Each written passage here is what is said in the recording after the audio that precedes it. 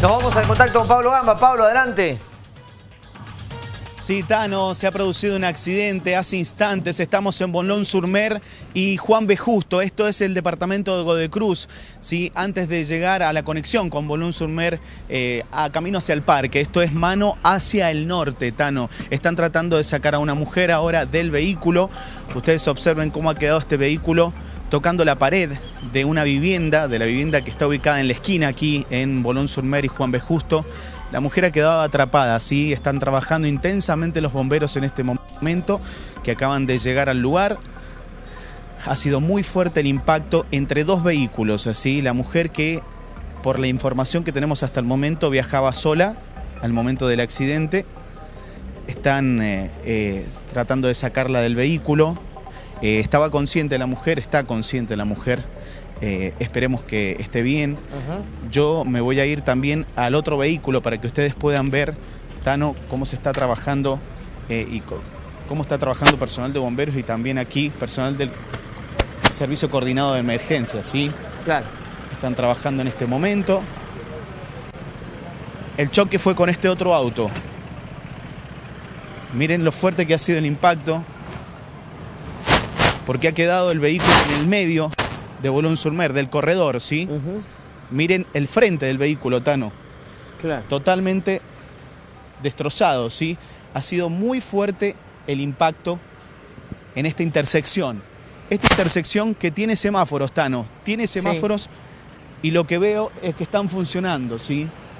No es que no estén funcionando los semáforos, están funcionando en esta intersección. Una zona muy transitada y sobre todo a esta hora. Está trabajando personal de bomberos, una persona circulaba en el auto negro que recién veían y una persona en el Siena que están intentando sacar a la mujer que iba en el Siena.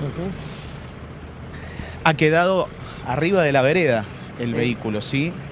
Ha sido tan fuerte el impacto que lo ha girado y ha golpeado contra la puerta de, de una casa, ¿sí? Contra el frente de una casa. Ahí están trabajando los bomberos intensamente, rápidamente también en este tipo de hechos y van a trasladar a la mujer al hospital, que obviamente Claro, allí vemos con, con golpes, obviamente. Pablo, se entrecorta un poco tu sonido, te acompaño yo con la imagen que nos da nuestro camarógrafo en el momento en el que retiran a la mujer. Ahora sí retomamos el contacto, Pablo.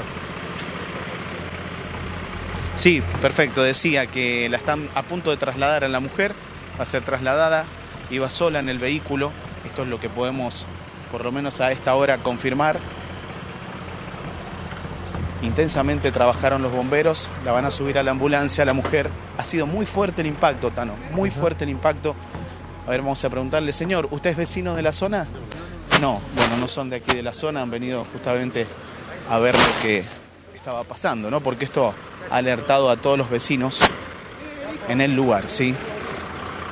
Choque entonces en Bolón Surmer y Juan B. Justo. El vehículo ha quedado con su puerta, con su puerta rota, han tenido que romperle incluso los bomberos para poder sacar a la mujer que recién veíamos en imágenes. Se trabajó rápido, eso es lo importante, y ahora va a ser trasladada al hospital. El otro vehículo involucrado, el que tengo a mi izquierda, que quedó con el frente, ya van a ver el frente cómo ha quedado, totalmente roto, ¿sí? Ha sido muy fuerte el impacto entonces en esta intersección. ¿Cómo está el tránsito? La lateral del corredor del oeste, la lateral derecha cuando uno va dire- con direccionado hacia el centro, está cortada porque están los eh, bomberos trabajando en el lugar, obviamente.